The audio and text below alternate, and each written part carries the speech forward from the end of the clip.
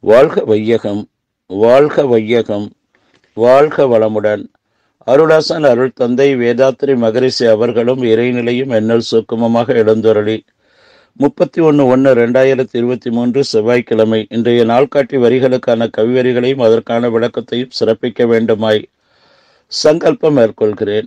அனைவரையும் பணிவோடு முதல் கண் வணங்கி ஆரம்பிக்கலாம் என்றிருக்கிறேன். அனைவருக்கும் இனிய காலை வணக்கம். வாழ்க வளமுடன். சாமிஜியினுடைய இன்றைய நாள்காட்டி வரிகள் எண்ணம் சொல் செயலால் எல்லோருக்கும் நன்மை தர என்ன எண்ணியபடி செய் என்று சாமிஜி நமக்கு இந்த நாள்காட்டி வரிகள் கொடுத்துருக்குறாங்க. தெய்வ புலவர் திருவள்ளுவர் சொல்லும்போது எண்ணிய எண்ணியாங்கு எய்தலால் எண்ணிய திண்ணியராக பெறின் என்று தெய்வ புலவர் திருவள்ளுவர் சொல்கிறாங்க பாரதியார் சொல்லும்போது எண்ணிய முடித்தல் வேண்டும் நல்லவே எண்ணல் வேண்டும் திண்ணிய நெஞ்சம் வேண்டும் தெளிந்த நல்ல அறிவு வேண்டும் என்று மகாகவி சொல்கிறாங்க அதே போல் சாமிஜி சொல்லும்போது எண்ணம் சொல் செயல் மூன்றினாலும் எவர்கெனினும் தனக்கெனினும் என்றோ பின்னோ மண்ணுலகில் உணர்ச்சிக்கோ கற்பனைக்கோ மாசு எனும் துன்பமெலா வகையில் உண்மையில் இன்பத்தை விளைவித்து கொண்டே உலக இயல்போடு ஒட்டி வாழும் செயல் புண்ணியமாம்.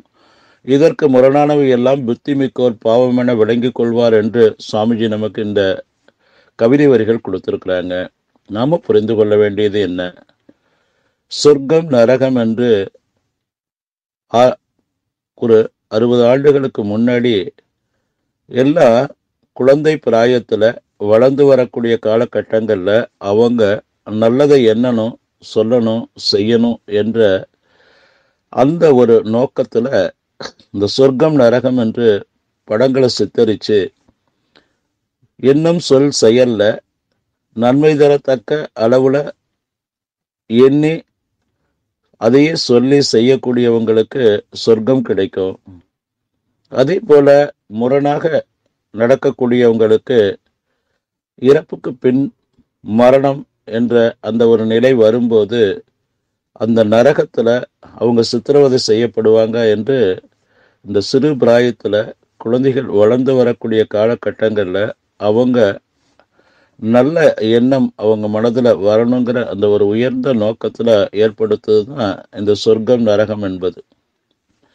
அப்போ காலத்தால் குழந்தைகள் எல்லாம் அந்த படங்களை பார்த்து அவங்க வந்து ஒரு பயபக்தியோட நம்ம எந்த தவறும் செய்யக்கூடாது.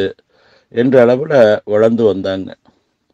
சிறு பிராயத்திலேயே மகான்களாக உருவெடுத்தவங்க வள்ளலார் மீராபாய்.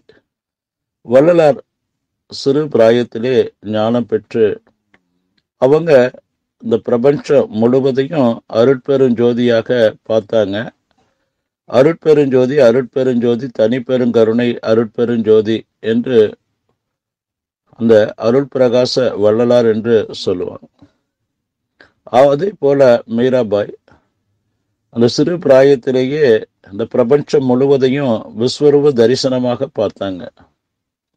அப்போ அது முதற்கொண்டு அவங்க கண்ணன் என்ற அளவில் அந்த மீரா பஜன் என்ற அந்த தொடர்ந்து அந்த தொண்டை செய்து கொண்டே இருந்தாங்க. நான் இதையே இங்கே சொல்ல வரேன் அப்படின்னு சொல்லி சொன்னால் குழந்தை பிராயத்திலேயே அவர்களுக்கு அந்த ஒழுக்க பழக்கத்துக்கான அறிவு தெளிவுக்கான அந்த விளக்கங்கள் அவங்களுக்கு கிடைச்சிருச்சு அப்படின்னு சொல்லி சொன்னால் எந்த விதமான ஒரு புதிய பதிவுகளும் அவர்களுக்கு இருக்காது.